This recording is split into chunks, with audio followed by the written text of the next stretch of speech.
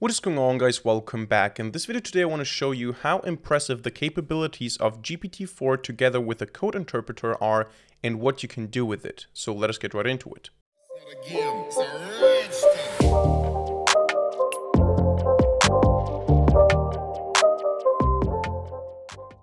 Alright, so we're going to explore the ChatGPT code interpreter functionality in this video today, and my goal is to show you a couple of examples and use cases to show you how much more we can do with ChatGPT just because of this one extra feature, the code interpreter. Now, what you need to know is that the code interpreter is only available for ChatGPT Plus users. It can only be used with ChatGPT 4 or with GPT-4, not with GPT 3.5. So if you don't have ChatGPT Plus, you will not be able to try this yourself, at least yet, but you can still watch this video to see what's possible and to get inspired and to get updated.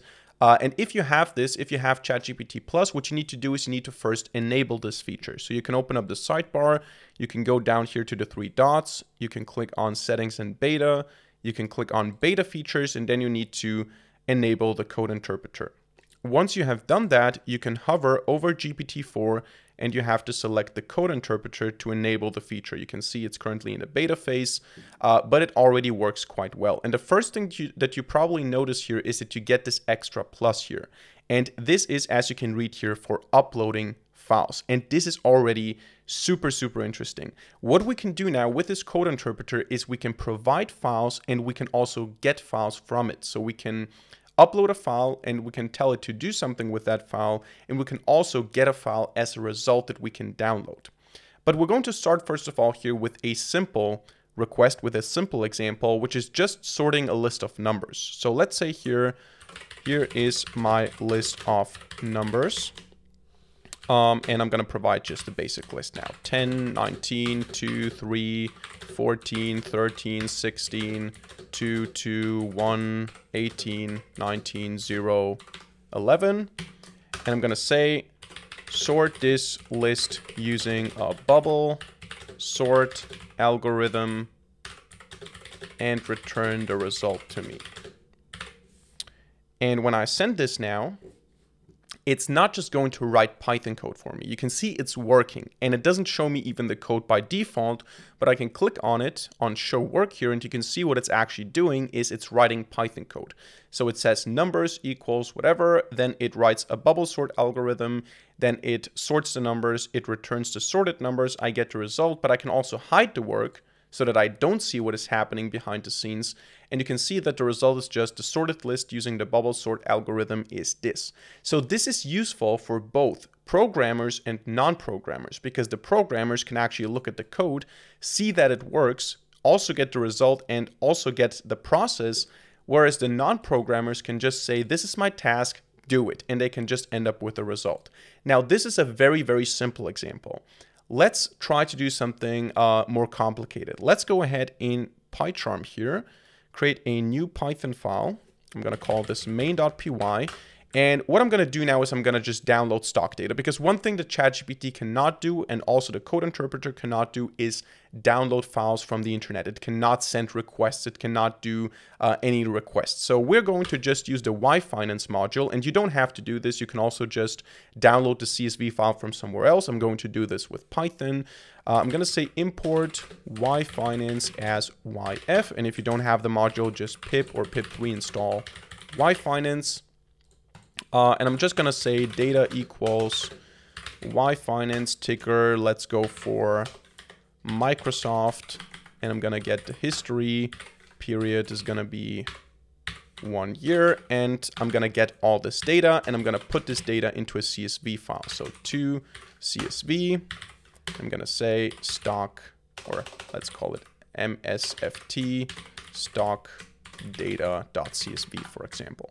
Now I can run this. This is executed. I have my stock data here. And now what I can do is I can go to ChatGPT with a code interpreter plugin and I can click on upload file. I can take this Microsoft stock data here and I can say this is some Microsoft stock data um, over the last year. Or maybe not some, but this is the Microsoft stock data over the last year please visualize it as a candlestick chart using matplotlib. Now, I think, I assume that what it's going to try to do, it's going to try to use some libraries that are not present in the code interpreter because the code interpreter doesn't have access to all the Python packages. Of course, also because everyone can upload a Python package and then uh, you're going to, um, if everyone can upload a Python package to pip, and then you can install any package you can just hack into ChatGPT, which is not good. So we don't want to do that. And because of that, it's limited to some libraries. So if it tries to use here, let's see. Yeah, it tries to use MPL Finance. I think this is not available. So we're going to run into an error here, but we can fix that. Uh, what you can see here first, though, is it loads this data set into Pandas. Um, it reads the Pandas data frame and it shows the column so that it knows what the data set looks like. So what it actually does here is it explores the data set that I provided it with. Um, so you can see here it says MPL Finance um, is not available in the current environment. Then it tries to do Plotly. Uh, it says it's also not avail available. So what I'm going to do is I say, uh, is I'm going to say, um, don't use any fancy packages, just use core matplotlib and design the candlestick chart manually like this. So then it will rely only on matplotlib and it will basically manually create a candlestick chart. So we can look at the code here and the code generation is not the impressive thing because of course we were able to generate code already but it also can execute that code and it can also, and this is the interesting thing here, it can do dataset exploration. So it doesn't have to rely on your input. What's the problem here now? Um, okay, it, it already fixes the errors itself. This is the good thing. Now, first of all, it can do dataset exploration. So it can look at the data and determine itself uh, what it can do with the data or what it should do with the data. And the second thing is it can fix it, uh, its own mistakes. So here you can see it gets an attribute error. It says, okay, this is an error. Uh, I get uh, some problem here and it gets another error. It gets another error and it tries to constantly fix this. Now, I'm not sure if it's going to succeed here. If it doesn't succeed here, I can show you an example from yesterday where it did succeed, where I did the exact same thing. I uploaded a stock price, um, and I told it to manually plot a candlestick chart and it succeeded. Now, again, I don't know if this is going to work this time, uh, but if it doesn't work, I'm going to show you an example from yesterday. So what it does here is, there you go. It actually worked. Now, the date doesn't look too good, and we could, of course, uh, adjust this here. So we can say, okay, the date column or, or the, the x-axis looks quite messy, please change that, and it would adjust that. But you can see it produced a candlestick chart for a given data set. So I don't even have to look at the code. So someone who is not into coding, what they would have done here, um, now the only thing that I did here is I mentioned that I want to use core matplotlib. Maybe the non-programmer doesn't know how to specify this, but I actually just passed stock data and I got a candlestick chart. That's basically what I did. Now, let's go ahead, start a new thread here.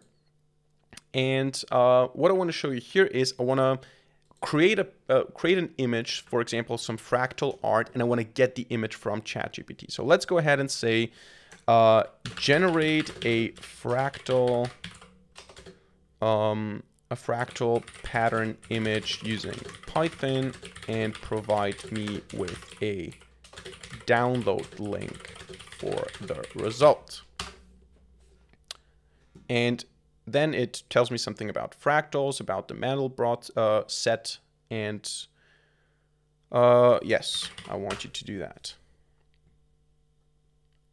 So now it basically does the math to generate this set and this fractal pattern. Uh, it writes the code, and then once all of this is done, once all of this is executed, it's going to save the image into a file and it's going to provide a download link to that file. So you can see here, it has some, it's, it's obviously running on, uh, I think Linux. I don't know if Unix-based systems like Mac also have mount. Uh, but yeah, this is first of all the result. And we can also download the image from this uh, link here. So I can just click on download and it's going to download the image. This is quite impressive as well. So you can actually see results and it also, again, as I mentioned, fixes its own mistakes.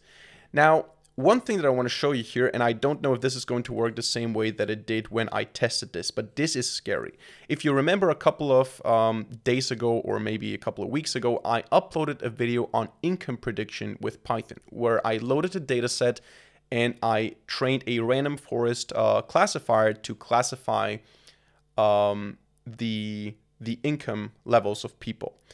Now, what I can do here is I can actually upload that data set. So I can actually upload the income CSV data set here that we used in the video and I can specify what I want to do.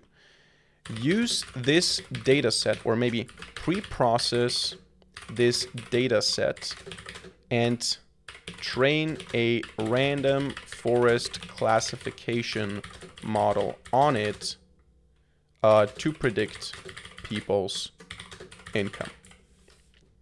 So this is my prompt. Now, I don't know if this is going to work as well as it did um, a couple of days ago when I tested this, but this is interesting because what this does now is basically ChatGPT go th uh, goes through the full data science cycle and machine learning cycle. So what it does here is, first of all, it loads the data, it displays the data so that it can see, okay, what do we actually have here? And we have certain categorical attributes, we have certain numerical attributes, we have a target attribute. It sees all of this and it says, what do we need to do? So let's first of all handle missing values. And it can see here we have some missing values. It looks like some of them are missing. Here it says how it handles the values. It says for the work class occupation columns, we can fill the missing values with the most frequent values since they're categorical variables. For the native country column, we can also fill values with the most frequent category. Then it does that. Um, and it also, what does it do here? It also does already the encoding. It also does um, the label encoding already. Um, now it splits the data into training and testing. Now this is actually not that good because I had an example where it did it in a better way. Because right now it took categorical attributes and it did label encoding on them. This is not good. You usually want to do one hot encoding. Uh, but you can see the accuracy is still quite good. I want to show you the example that I did a couple of uh, days ago here. Let me just find it. Was it was it this one? Um, oh, actually here I only did the pre-processing, but it's still it's still quite good because uh, this is an example where I did the pre-processing. I uploaded the income CSV dataset, pre-processed the dataset so that, that I can use it for a random forest classifier later on. Then it explored the data, it handled the missing values, and here it made the right decision because what it did was um, it replaced or it, it identified the categorical variables and it did one hot encoding on them. And for the income encoding, uh, for, for the income column, it did label encoding, as you can see. So we'll perform one hot encoding on the nominal categorical variables and label encoding on the target variable. And then it encoded it, and I said, no, just give me the pre-processed CSV because it wanted to split into training and testing. I just said, give me the pre-processed data set and I was able, now the session expired here, but I was able to get this pre-processed dataset as a CSV file as a result. So you can only use it for pre-processing or you can go through the full cycle here um, with a random forest classifier to actually give you the model and the accuracy and everything like that. Now maybe I can say here, I'm not sure if this works, uh, can you save or export the model so that I can use it and then it probably is going to serialize that. So yeah, it exports this as a joblib. Okay, so now I can download the random forest model. And I can also ask it how to load it and stuff like that. So this is very, very useful. Now, the last example that I want to show you here is uh, quite interesting. I can upload an image here, and you can also do the same thing with videos. You can upload a video and tell it to cut out certain pieces de depending on uh, certain criteria so that it does it with MoviePy. But uh, what I want to do here is I have this image of faces. So just a couple of pe uh, people.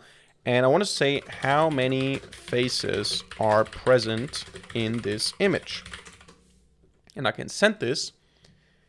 And this now basically will write Python code to do face recognition or face detection. So you can see here, uh, it shows the image, first of all. This is the image that we passed. just uh, a couple of people here. And now what it does is it uses face recognition. Actually, I thought it will use uh, the cascade files. Let's see if this works. Okay, it doesn't know that, so it's going to switch to OpenCV, which is what I thought it would do. Uh, yeah, this is what I thought it will do, cascade classifier. So this is now going to apply this methodology, and then we will get an image with the recognized faces. Image array is not defined. Okay, so it runs into a couple of mistakes, but it can fix them itself, probably. So let's see.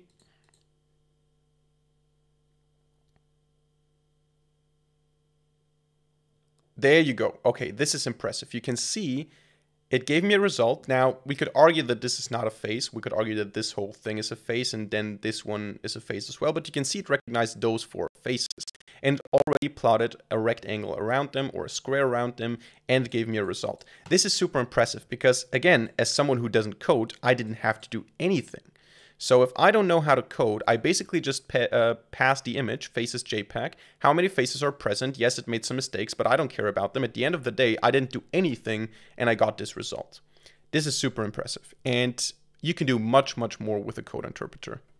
So that's it for today's video. I hope you enjoyed it and hope you learned something. If so, let me know by hitting a like button and leaving a comment in the comment section down below. And of course, don't forget to subscribe to this channel and hit the notification bell to not miss a single future video for free. Other than that, thank you much for watching, see you in the next video, and